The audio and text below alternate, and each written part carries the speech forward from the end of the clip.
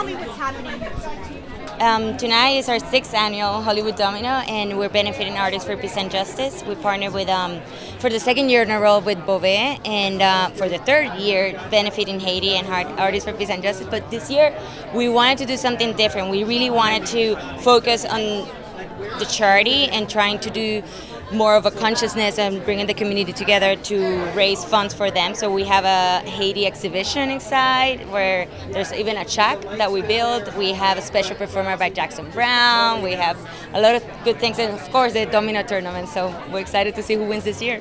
It will be interesting. Do you think everyone who's coming in general is, kind of good at the game? You think it's going to be? I hope so. it always gets really competitive, and we have great prize. I mean, Bovet, our sponsor, designed a special piece for the winner. So we're really excited. So we'll see what happens. It's a really nice way to do a very good thing. It's a fun night.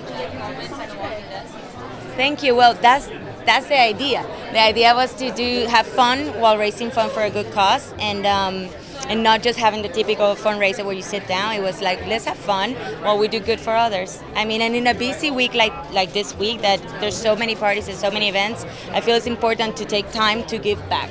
So we'll try.